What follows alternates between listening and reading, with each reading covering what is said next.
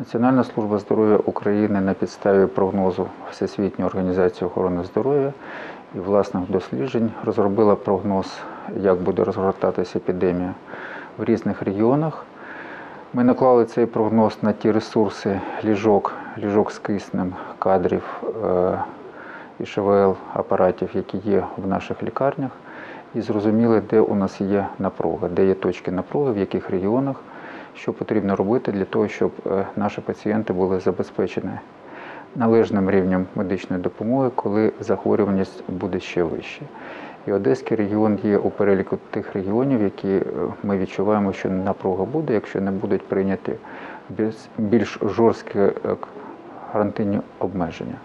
Отже, для того, щоб зрозуміти на місці, що відбувається, е, проконсультувати і заклади охорони здоров'я, і поспілкувати з органами місцевої влади, обговорити ці питання. Ми здійснюємо такі візити в регіони. Е, Ми були в Одесі три місяці тому, також е, спілкувалися з керівниками закладів, з керівниками регіону. Спостерігали, як тоді Одеса готувалася до підвищення захворюваності. Я хочу сказати, що зроблено багато. На даний час е, ситуація є, є напруженою вже, тому що е, ми бачимо, що е, відділення заповнюються, відкриваються нові відділення, нові лікарні додаються до цього переліку, але загалом ситуація контрольована. Тобто є джерела кисню, пацієнт отримує медичну допомогу. Бригада екстреної медичної допомоги е, привозить його в лікарню, йому ця, е, ця допомога надається. Медичний персонал налаштований робочо, так би мовити. Тобто ми побачили, що лікарі, медсестри вони навчені захищати себе і вміють працювати з цими захворюваннями.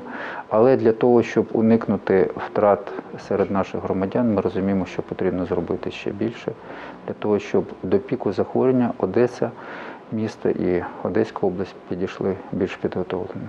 Якщо е, говорити про, про карантинні заходи, то ці заходи е, приймає уряд відповідно до тієї ситуації, яка буде на території України.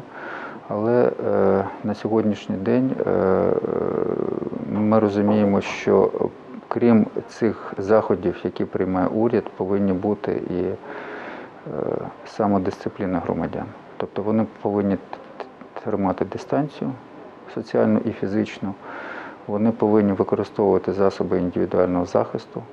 Якщо всі будуть свідомими того, що це може знизити передачу інфекції, знизити захворюваність і обірвати цей ланцюг в кожному конкретному випадку, то тоді ми будемо мати менше наслідків. Це дуже важливо зараз.